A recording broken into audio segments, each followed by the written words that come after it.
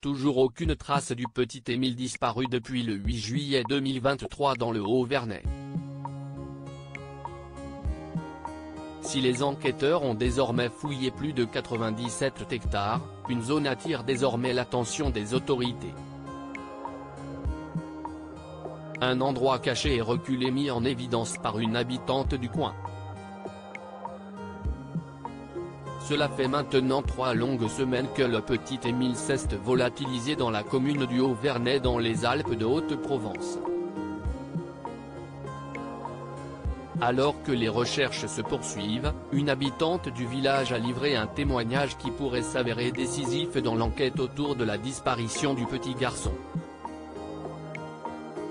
Interviewée par BFM TV, elle a ainsi révélé qu'il faudrait songer à agrandir le périmètre de recherche. Des endroits peut-être difficiles d'accès mais qui pourraient cacher le corps du petit garçon, dont les chances d'être retrouvé en vie sont désormais quasi nulles. En bas dans le village, du Vernet, il y a des granges, il y a des lieux un peu reculés.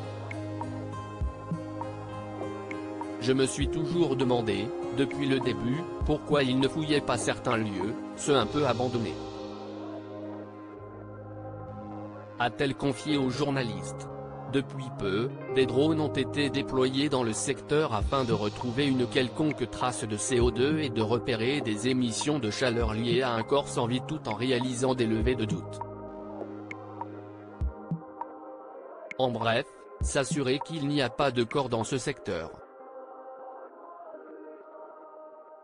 Des chiens ont aussi été amenés pour fouiller les environs mais, pour le moment, aucune trace du garçon n'a été trouvée.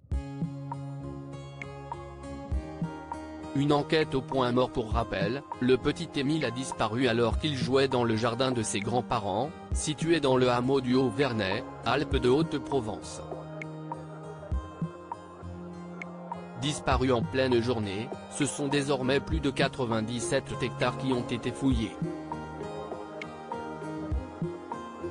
Récemment, CIST un adjoint qui est venu récupérer sa voiture, inspectée de fond en comble par des techniciens de la police scientifique.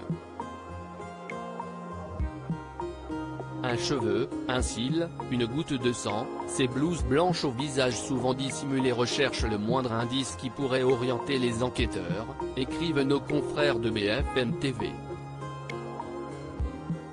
Du côté de la justice, la qualification de l'enquête reste la recherche des causes de la disparition, ce qui ne permet pas encore à la famille du petit garçon de se constituer partie civile.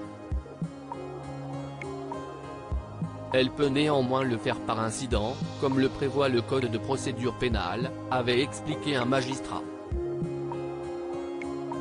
Avant d'ajouter, elle pourrait le faire directement si une infraction venait à être relevée et dans ce cas, l'enquête serait requalifiée.